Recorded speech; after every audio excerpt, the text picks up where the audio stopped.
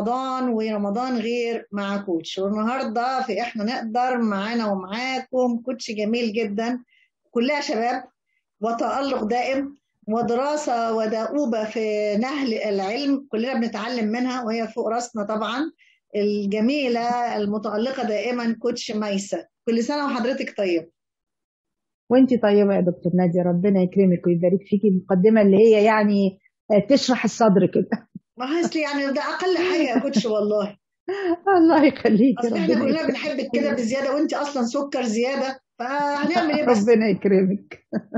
الله يخليك والله وأنا بحبكم برضو. ربنا يعزك. الناس كده عايزين يسمعوكي ويستفيدوا منك. آه لما درستي و... ونهلتي من العلم ولا زلتي ربنا يديك الصحة. آه كل الدراسات الإنسانية دي وال coaching فرقوا مع ال coach إزاي؟ آه بسم الله الرحمن الرحيم. لا من ناحية فرقوا فرقوا كتير قوي. لأن يعني كنت دايما يعني دلوقتي دايما في كلمة بتجيلي يعني بس طبعا الواحد ما يندمش على حاجة. بيقول أنا ليه ما اتعلمتش بقول ليه أنا ما اتعلمتش الكلام ده من زمان؟ كان هيفرق معايا في حاجات كتير جدا في حياتي. لكن الحمد لله إن أنا اتعلمت حتى قبل ما إيه قبل ربنا يعني. لأنها فرقت جدا في حياتي. إحنا دراسة الكوتشنج عموما ودراسة الإنسانيات عموما اللي من ضمنها علم النفس وعلم النفس الإيجابي والكلام ده بتخلي البني آدم يبقى قريب قوي من البني من من نفسه. وأول حتة فرقت معايا هي نفسي. يعني أنا عملت إيه مع نفسي؟ إحنا حياتنا واخدينها كل حاجة بسرعة وبنجري في كل حاجة. حتى في رمضان كان إيه عملت كام جزء؟ صليت كام ركعة؟ كله بنحسبه بالماديات وبالشبر. ودايما ناسيين نحس بالأمور بالمشاعر المشاعر بتاعتنا. دايما ما وراء الفعل إحنا بنعمل ده ليه؟ الهدف منه إيه؟ النية وراء إيه؟ المعنى اللي بنعمله إيه؟ فدي خلتني دايما يعني الحاجة اللي أنا بتعلمها كنت دايما أطبق على نفسي. فخلتني الحقيقة أغوص جوه نفسي جامد قوي وفعلا عرفت نقط الضعف اللي فيها ونقط القوة اللي, اللي ربنا حباني بيها. وبديت بدأت قوي أدقق في معنى المعاني. كل حاجة في حياتنا لها معنى. بس إحنا لازم ندور على المعنى ده عشان نقدر نعمل الحاجة بإحسان. فدي فرقت معايا في رمضان إزاي بقى؟ الحقيقة ابتديت أركز في أفعالي. أفعالي اللي هي مش بس مجرد إن أنا بخش أصلي بخش المطبخ وبخش أعمل الحاجات الروتينية اللي بنعملها لأ. أنا بعملها ليه؟ إيه المعنى اللي وراها؟ فالمعنى اللي وراها اللي بطلعه من جوايا خلاني أعملها بطريقة مختلفة. خلاني أحبها بطريقة مختلفة. خلاني أدور على الكيف مش الكم. يعني, يعني أنا وأنا كنتش مايس يعني كده ستات تيجي داخلة المطبخ أوف هدخل بقى أطبخ هدخل أيوة. بقى أغسل هطبخ. فتخيل وأنا بقى داخلة كده يا سلام وعندي معاني جميلة الله طب ما ده, ده, ده الأكل هيطلع شكله مختلف كمان فعلا. والله أنا آه كمان بقيت وأنا بطبخ على فكرة بالذات الموضوع ده بقى فرق معايا جدا. بقيت دايما أبقى مولعة حاجة بسمعها بتعلمها وأنا بطبخ. يعني تلاقيني آه أنا بتابع طبعا التاد توكس والحاجات دي. يعني المهم أي حاجة الواحد بيحبها.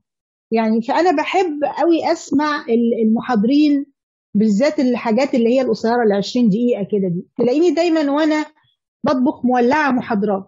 المحاضرات دي بتخليني أبقى منتبهة دايما للمعاني اللي بقول لك عليها لأن المحاضرات هي دايما كلها بتبقى وجهات نظر مختلفة. يعني دايما المحاضرة بتبقى واخدة من وجهة نظر اللي بيقولها.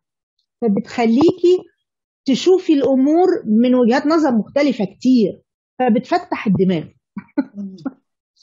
يعني بصراحة لا بقيت أي حاجة دلوقتي فرقت معايا في جلساتي. بقى لما بقعد مع الناس. الأول الواحد كان تلاقيه كده يعني يعني معقولة أنت بتعمل كده؟ طب بتعمل كده ليه؟ بيبقى الإحساس الداخلي كده. لا بقيت دايما أقعد أحاول أفهم المعنى اللي ورا اللي بيقوله. وهو إيه المشكلة اللي عنده هو؟ مش رأيي أنا أو أنا شايفة إيه الأصح؟ لا هو هو بيعمل كده ليه؟ هو ولازم هو كمان أو هي تعرف هي اللي ورا الأكشن ده إيه.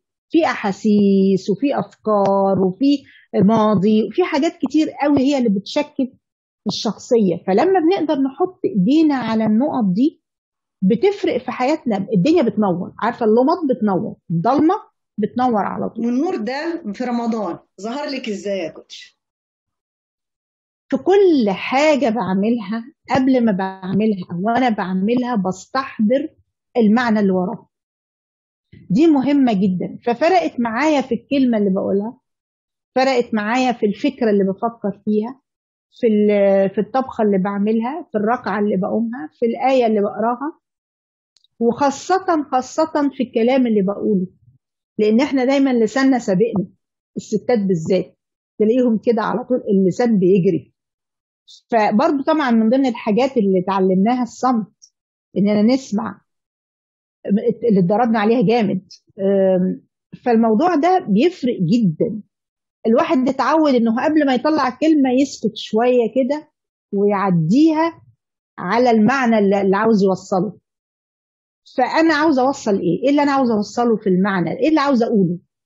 قبل ما بقوله بفكر أنا هقوله لمين وهقوله إزاي عشان أوصل المعنى اللي عاوز أوصله. ودي يعني مهارة محتاجين نتعلمها. تفرق بقى في أنا عاوز أعمل حسنات أنا عاوز أكبر بخاطر ده أنا عاوز أريح فلان ده أنا ده تعبان محتاج اطبطب عليه شوية. المعنى اللي أنا عاوز أوصله إيه؟ إيه اللي أنا عاوزه أوصله لهذا الشخص؟ فدي مهمة جدا إن أنا لما بعملها بتلاقي حياتي فيها نوع من السكون في سكينة. لما بتعصب ما كلنا بنتعصب لما حاجة بتضايقني دايما بقيت آخد كده خطوة لورا وأقول إيه ده هو هو ليه الموقف ده عمل فيا كده؟ إيه اللي حصل؟ هو أنا إيه الفكرة اللي جات لي؟ هي دي بتفكرني بإيه؟ هو دي المعنى اللي وراها إيه؟ فهي المعنى زي ما بقول لحضرتك حتى لما الواحد بيتضايق أو بيتعصب بقيت أخد بالي هو أنا ليه؟ الموقف ده ضايقني. إيه إيه سبب المضايقه؟ أركز شوية مع الموقف المعنى اللي وراه. أه بدأت تفرق تفرق معايا في رد فعلي أكتر من الأول كتير. واحد كان الواحد يتعصب كده ويغضب ويم... لا دلوقتي بقى في حالة إيه؟ أرجع لورا كده سنة وأركز شوية. إيه المعنى اللي وراها؟ ليه أنا كده؟ أنا بعمل وهكذا.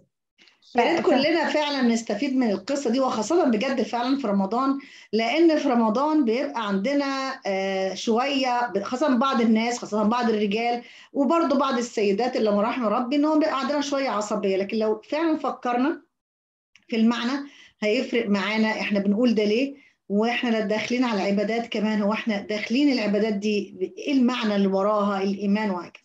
بجد يعني لقطة حلوة منك يا كوتش وعلم ينتفع بيه. آه كان نفسنا نقعد أكتر بس إحنا حلقاتنا كده كلها خمس دقايق سبع دقايق. وأكيد دايما إحنا في لقاءات مستمرة مع الكوتش ميسة كل سنة وحضرتك طيبة؟ وانت بالصحة والسلامة وبخير وكل المشاهدين بخير. يا رب دايما كده يعود علينا دايما رمضان بكل خير يا رب. سعدنا بيكم ونشوفكم بكرة في مع كوتش آخر ورمضان غير مع كوتش. سلام عليكم.